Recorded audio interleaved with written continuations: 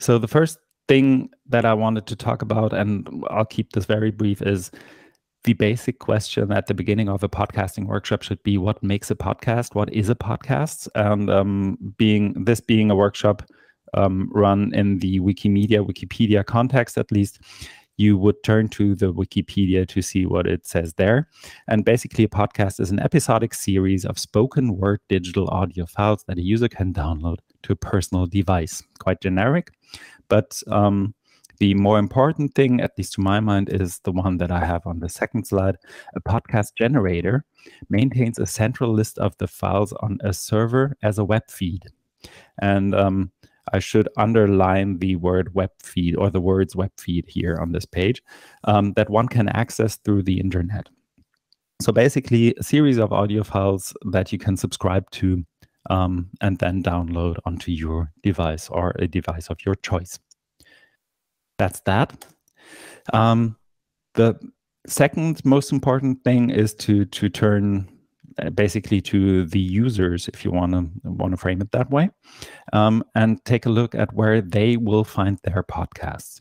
And there are a couple of um, entry points and, and corridors that that one can take in order to browse and search for podcasts. So one may be curated websites. I put two down here that might be of interest to this group especially, and I would want to uh, stress wissenschaftspodcasts.de.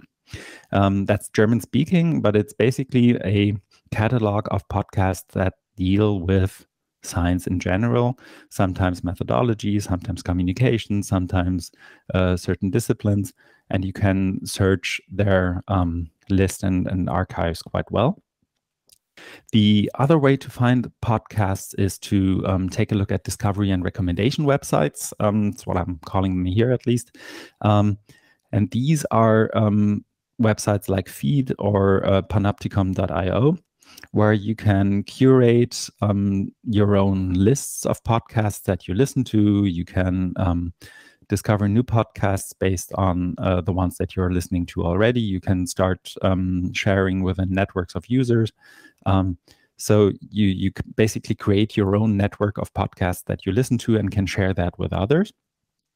The third way, and the probably most common way, is um, um, to take a look at the platforms, and platforms being quite a generic and broad term here because they work quite differently.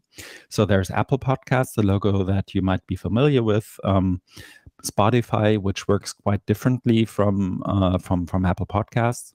Um, and then there's Google Podcasts, which isn't that commonly being not not that being not that familiarized with with the German scene, but I think um, in in the English podcasting world, it's it's much more familiar to use. For example, Google Podcasts. Some publishing houses have their own apps. So there's NPR, for example, but also uh, the BBC has their own app. Um, Deutschlandfunk has a couple of, of apps. So um, publishing houses, publishers sometimes um, have their own apps that they use to um, distribute their podcast And that's where the, the term podcast becomes a bit fuzzy, to, to say the least. Um, and the one thing that I would highly recommend for anyone in this workshop, if you're not doing so already, download a podcatching app today and subscribe to the podcasts that you listen to. So I put a couple of recommendations here, um, both for Android and iOS.